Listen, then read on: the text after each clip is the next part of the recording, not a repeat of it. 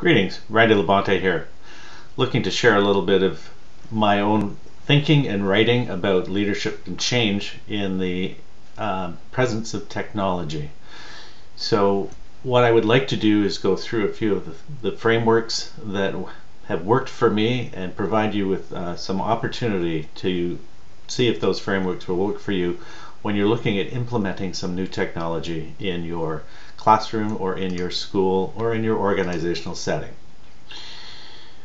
So our past experiences, we have some sort of a structure around theory, and if you've been involved with the course that I was uh, that was available to you online, then you got an opportunity to look at theory. So we talked about theory as being something that helps us to envision a future, a future space or place, it starts to open things up and make them trans visible to us but most importantly they keep us honest. We all start with some sort of a theoretical frame of reference largely as probably developed when we were students but as teachers we have that inherent. It's important that we make it visible that we make it obvious and we're aware of what are the theories behind our own thinking in our practices. So there's been a lot of discussion around different theories and could be an evolutionary uh, from the Skinnerian behaviorism through to cognitivism, but also in terms of constructivist approach as well as connectivist approaches. So if you're like me, you're probably erring on the side of being a connected constructivist with uh, a base in cognitivism. The problem when we're teaching online is that behaviors and human interactions play out very differently. So not too sure that behaviorism is really something that I use as a reference point when I'm looking at online. So we got a theory. But working online is a completely different environment, certainly one that I was never used to as a student, never had the opportunity. Uh, when I get, went in and started to do my post-secondary work, yes, I did teach, uh, became a student of teachers who were teaching online. But how do I understand that? So there's a couple of models that um, bandied about that work reasonably well. So there's TPACK, which is technological pedagogical content knowledge. Essentially, it says if we're going to work online or through di digital technologies, we have to know how to use them. So we have to make the technology invisible, is what I say. Um, we got to know our content curriculum as well, but then we have to also have a really clear instructional approach or pedagogical uh, knowledge. So it's the intersection of how all those three come together that are important. And then when you start thinking about your practice, this is a model which works quite well in terms of the community of inquiry, well researched, and it really says that when you're working in a digital learning space, that you have a cognitive presence, content knowledge, you have a uh, social presence, which is the more in terms of how you engage and collaborate and work with people. But then you have a teaching presence, which is what you do as a directive part of orchestrating or facilitating that learning to occur. So you got the model. Great. Okay. Well, how do I sort of design stuff for learning in that space? Well, uh, there's a couple of places that work really well for me, which is under, universal design for learning, obviously, but understanding by design, which is looking at big picture endpoints and then working backwards to construct interactions and activities that will address and lead students to the outcomes you're looking for. And then the process is uh, universal design, design for learning within that will help you to uh, structure things so that there's multiple means of expression. Okay, got theory, got a model, two, got the design stuff. Wow, now I just have to figure out which, what's the technology I'm going to be using. So, am I going to be talking about laptops? Am I going to be talking about tablets? Am I going to be talking about a virtual learning management system? Am I going to be talking about building a course? So, what is it that really the technology pieces? And remember back to TPACK, I have to master those technologies. So, be careful in terms of what you select. Okay, so I got all those in places. Now what? Now I go build my course. Now I go create uh, my learning digital learning space. Now this is when the rubber hits the road. So when the rubber hits the road though, what's important and behind that is our ability to connect and communicate, which now through the technolo technologies available at our fingertips is really allows for a lot of creativity and innovation. And it can actually happen. Making that happen though in our traditional learning spaces is the challenge for us. That takes leadership, that takes the ability to lead and understand change. And it also takes our ability to understand how it challenges our traditional notions about teaching and learning. That we may or may not make explicit, and others may not be in the same place in terms of your own thinking. Uh, so it's something to recognize that. Um, the other part of that is in this world that we live in, users can now engage in learning when they choose. It just is not when they're in front of a teacher content and uh, information is available at a fingertip.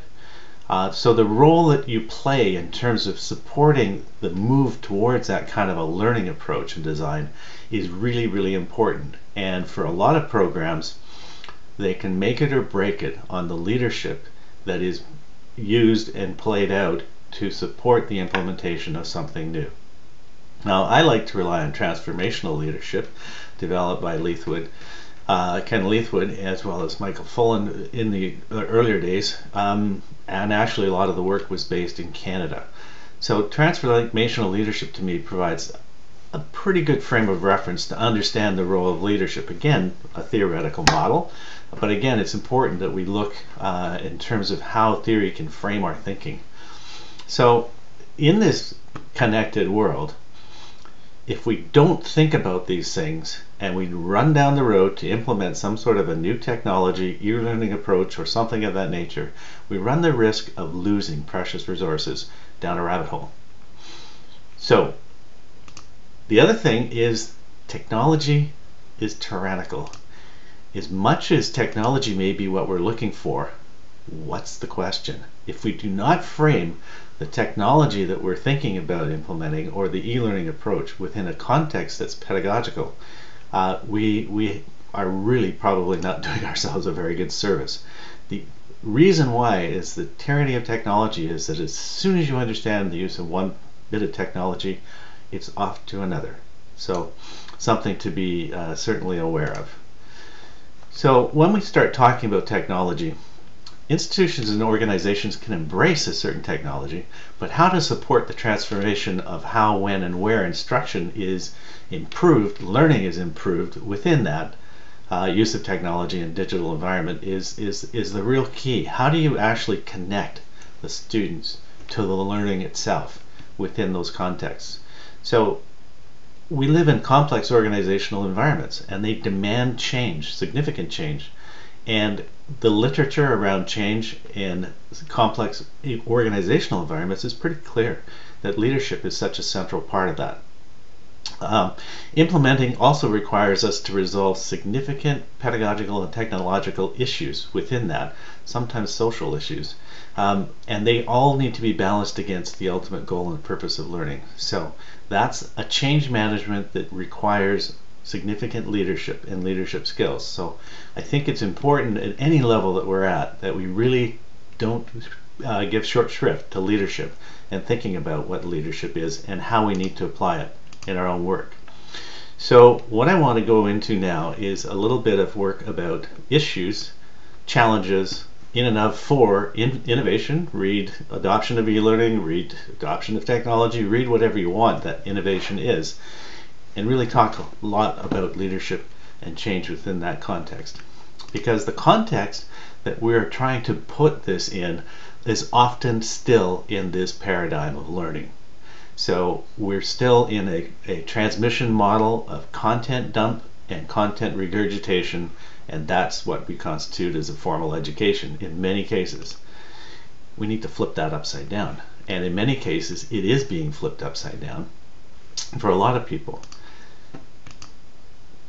we need to be thinking about how we're all connected and how learning occurs in this chaos, in this networked environment of content diffusing through and being created and co-created by learners instead of thinking about learning as just being a teacher directing. Again, the transmission model or content dump as I like to call it. So this is our environment. Classrooms, bells, buildings, Probably not where learning is only contained. And I would argue that is migrating out of to a certain extent as well. Not to leave permanently or forever, but to migrate and grow out of the environment. So where people are connected, kids are connected, and things are connected into learning commons, learning um, virtual environments, and it really changes the role of the teacher from that as the purveyor of teaching as opposed to the facilitator of learning. So the paradigm shift. And we all talk, you know, the, the guy on the side versus the sage on the stage. But so now how are you going to go about all of this? Well, to me, the change is about leadership. And there's a chapter that I've written, and there's the URL for it, and I'll have it available for you afterwards as well if you want to read it in, in writing with some of the, the literature. It's a little dated. But it really talks about leadership and getting away from that notion of management. So I quite like this phrase by Bennis. It's an older one. Those who master the context as opposed to those who surrender to it. That's the difference. That's how leadership is made. So you master the context, and you really have to understand the context in order to be clear about that. And Michael Fullan, who writes a lot about leadership, uh, he's at the uh, OISE here in Canada. Um, he talks a lot about change from the middle or leadership from the middle, and he talks about the fact that about the pedagogical horse so it's really about the pedagogy, and you have to master that. And you have to change how that happens. It's just not about the uh, implementation of a digital asset. His argument is is that if you appeal to that sort of uh, instructional pedagogical side and demonstrate to teachers how a digital asset can be supporting that growth of their pedagogy, off they go you, you, the implementation challenges and the leadership issues uh, can diminish entirely. It's about capturing imagination. So leadership is really your ability to influence or persuade someone else about a purpose or agreed purposes that you have. It's about looking at the relationships within a community and our ability to cope with the complexities of that, but also to help support and facilitate the organization to move forward the art of getting things done with others, and at its core, really, leaders provide direction and exercise influence to mobilize while working with others to achieve that shared uh, intention. So obviously the first piece is is it a shared intention or is it just your idea? So I think there's some things about that that we need. Um, so a lot of your leadership is about your trait, it's the situation that you're in, and it's the contingent pieces that are emerging that you're trying to work it's kind of like an art. There isn't a precise formula for leadership. So Leithwood talks about seven dimensions of transformational, transformational leadership. It's really a dynamic, and its purpose is to kind of build motivation and followers and to create a better place for the organization or the change that you're looking for. So as mentioned, it's really about the, your ability to influence and persuade and agree on an agreed purpose. So starting with a shared vision is absolutely the most important part. Being specific in terms of what you're trying to achieve. Um, capturing imagination of individuals within there. Helping them, supporting them, taking away roadblocks and obstacles. And yourself modeling what it is where you expect things to be in that future that you're moving to and not settling for good enough, just good enough. It's about really challenging yourself and going back and picking it up and challenging yourself again and then challenge others. And it's all done really largely within a positive culture about trying to create a better good that involves people in where you're going. So those dimensions I think are really important to me about how change can be affected at an individual classroom level, at a school level, at a school district level, or at a large organizational level. Transformational leadership is not rocket science in that sense, but I think it is a practical reminder, just like the uh, community of inquiry is a reminder about the fact that we need to have sort of a teaching as well as a content or cognitive uh, piece as well as the social pieces there. They really help to ground us and when we get caught up in the moment of things. So this is where I look at this as being a really important part of it is transformational leadership. So the action is about change and it's about change for a shared agreed purpose and good. Technology is part of that and the speed and complexity of change is is amplified by the speed and uh, and complexity and change with technology in and of itself.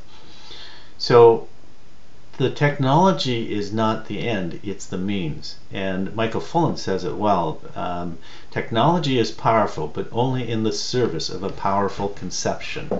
So I think it's important that we really keep that focus. It's like being focused on the pedagogy, as he would argue as well. So the quality of leadership, the Consortium for School Networking um, studied this, and the quality of leadership they found to be a prime factor and indicate whether technology funding was spent wisely or wasted. And they argue that without the meaningful leadership backed by supportive communities of practice, disparities in budgets increased. So they really tracked leadership to the actual use um, and expenditure of resources on technology. And, and goes further to Leithwood by saying you have to have a moral purpose, you have to understand the change process, you have to focus on the relationships, the creation of knowledge and new meaning going forward, and how to make that coherent with folks. Uh, so that whatever is you develop and where you go is that you have a sustainable future that is built within a social environment in the context of learning. So it's at all levels that you must be there. So it's not just managing change, it's about leading change. It's about making change part of your uh, whole sort of purpose and fiber of your practice. So Fullan will tell us a lot about leadership. Fullan will talk about change. But what are the processes that I can use? What are give me the, the sort of the Coles notes of what can I do to actually support myself in moving forward with that change? I like the concerns-based adoption model. And this can apply to using, uh, implementing technology, uh, new educational policies, any kind of change process, uh, certainly within the education context for sure. Adoption success really depends on the adopters. So I might have all the passion and ideas in the world about what it is that I want to bring into play, whether that be something new in terms of how we're going I'm going to teach my kids, students in my classroom, or where I'm going to change things in terms of my organization or school. But success is measured by the adopters. CBAM, as it's called, the concerns-based adoption model, really says that change is not a one-time event. I just don't implement change once. It's an ongoing process that occurs as part of a new idea or another idea that comes forward. The focus is really on the process and the individuals that are crucial to make that change come forward. Because the change is very, very personal for all of us. And so we have to understand and situate our expectations, our leadership for change within that context. And it's how we intervene in a supportive, in a challenging, in an informative way with those individuals that the context will be laid for the change in and of itself. So CBAM has a, a lot of really important pieces for us to remind us again uh, about where to go. CBAM came out of the uh, Center for uh, Research and Development Center for Teacher Education at the University of Texas, and it's been widely used actually uh, at different levels. And there's one um, website. This is the CEDL, S-E-D-L.org, uh, has really sort of adopted the CBAM piece, and it, I think it's really helpful for us to look at CBAM within the, and they break it into three different levels uh, within the uh, the approach for the concerns-based adoption. So they talk a lot about stages of concern, which is the reaction to the innovation.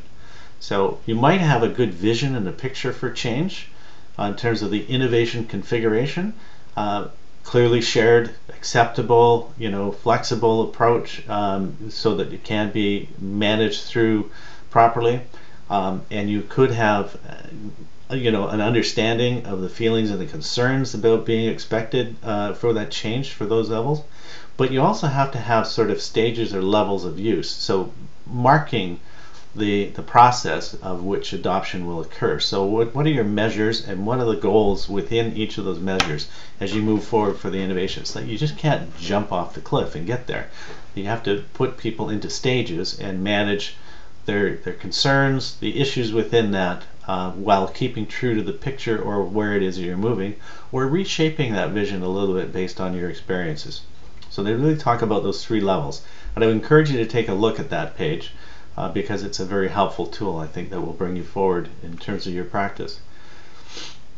So, in conclusion, leadership is really all about change and how you manage that process, how you support people, challenge people, certainly make sure that everyone has signed up for the same sort of vision or you're moving forward on that.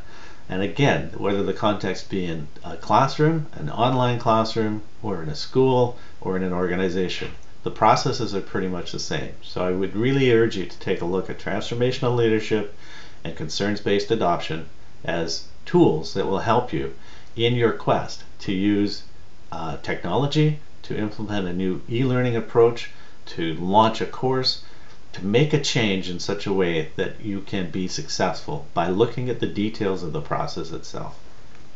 So I want to thank you for the opportunity for me to muse about my thoughts on leadership technology and how the change process works in that context. If you want to get in touch with me directly, you can see the contact information there. Thanks for your time.